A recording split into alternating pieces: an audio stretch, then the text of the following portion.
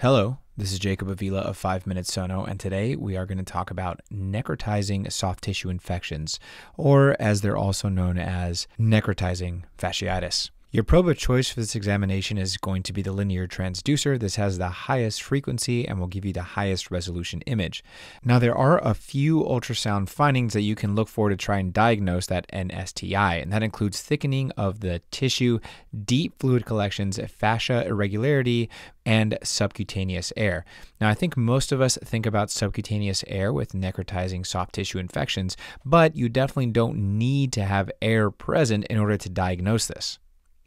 This is a normal foot. So, this is normal subcutaneous tissue, uh, maybe a little bit of muscle down here, some veins. That's these circular things. This is a hyperechoic cortex here and here with some shadowing. These are the foot bones or the toes. This is pretty bad cellulitis here. If you see this, it should definitely increase your suspicion that this patient may have something else besides just regular old edema. Notice all the pockets of fluid around it. When you have increased fluid collection, it should raise your suspicion of an NSTI. This right here is another foot that has an NSTI, a necrotizing soft tissue infection. So let's pause it and we're going to cycle back to about here.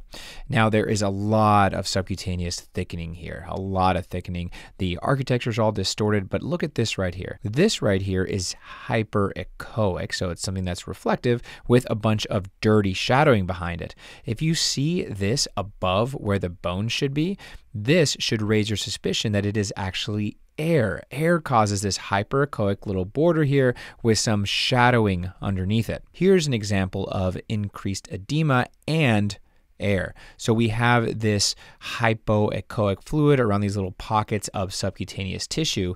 Then we have this very irregular border of hyperechoic something up here. This something is air with some dirty shadowing underneath it. This is what subcutaneous air looks like, and this is a necrotizing soft tissue infection or necfash. This is Fournier's gangrene, which is actually the first time that necrotizing soft tissue infections were introduced. Here's a testicle.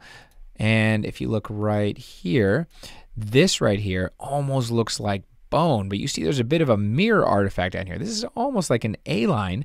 This is a bunch of air inside the tissue of the perineum. This is all a bunch of thickened tissue. This is a necrotizing soft tissue infection as well. Now, it's easy to focus in on the gas, but that's actually a later finding. The other thing to make sure to keep an eye on is the presence of a fluid layer in the deep tissues. And this is what you see here highlighted by all the arrows. This fluid thickness stripe is arguably the most important thing to consider when trying to determine if the thing you're looking at is regular cellulitis or an NSTI.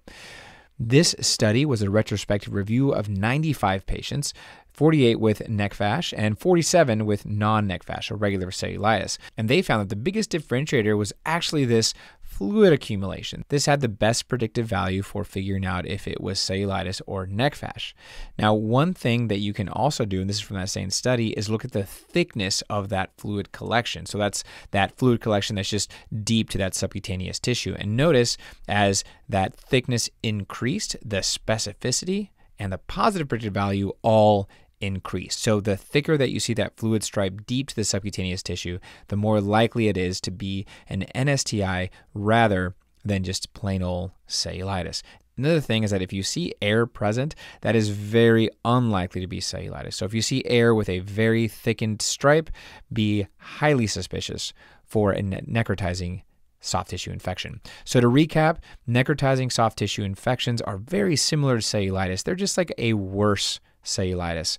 The two big differentiators between the two are going to be air in the subcutaneous tissue and a fluid stripe deep to that subcutaneous tissue.